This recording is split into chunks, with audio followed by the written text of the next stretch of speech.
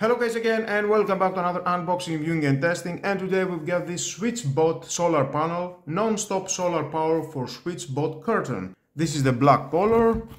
The SwitchBot solar panel harvested power from the sun and few hours of sunlight every day will keep your SwitchBot curtain charged around the clock. Flexible placement for the most uh, peace of mind. Power connection it is a USB type C, it is 5 volt 250 milliamps the output. It weighs about 100 gram. It is very easy to install it. I will show you of course. Attach on a SwitchBot curtain or your curtain fabric, connect to the Type-C port, direct sunlight and that was all. Well, let's open to see what we have inside and how we can install it to our uh, curtain.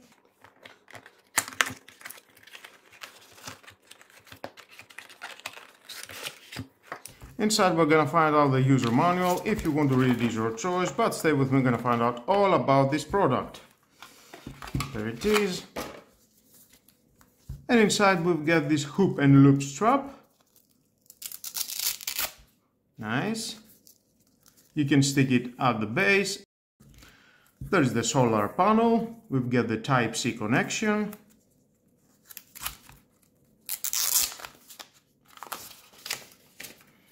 Nice, I like this matte finish. Here we've got the light sensor, the front view. There we've got and the handle. Here you can see we've got three positions to stick these uh, hook and loop uh, stickers at this point. Now let's move on for installation and see how it looks. Now here we are, we've got the motorized SwitchBot curtain and I need to install the solar panel. You can install it directly at the SwitchBot. Take this out, take this out and these plastics and reinstall them from the other side. You need to have at the front the Type-C and install it again. Of course, after you have installed it at this position, you need to recalibrate the unit take out these two plastics, insert them here and connect the Type-C of course.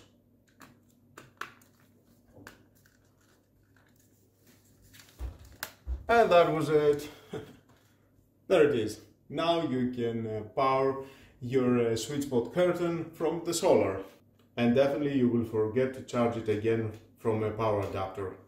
Or the other way, let's take this out again you can see it was uh, the light on that means it was charging.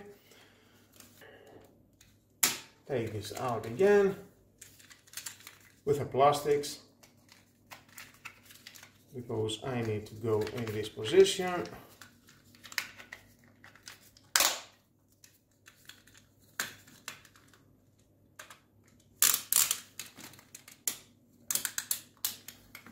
Take the solar remove the cable from inside. Perfect. And remove all the cable with a connection. Install the plastic.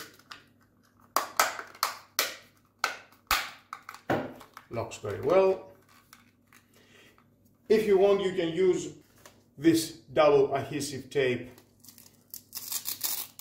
you can take this out, stick it one, two, three here, and you can stick it permanently and that in a position that is more suitable for you. And you can put it permanently somewhere, the solar panel, that is more convenient. Now, I will connect it, this again at this point. And I will connect at the Type-C from the behind. Well, that was all. You can do some uh, cable management. Well, that was very easy to install it and now you can uh, solar power your uh, SwitchBot curtain. And from the app you can see it's charging 82%. We've got the sunlight as an icon and it's charging. Very nice. And let's test it. Oh yeah, it's working very smoothly with no problem and close.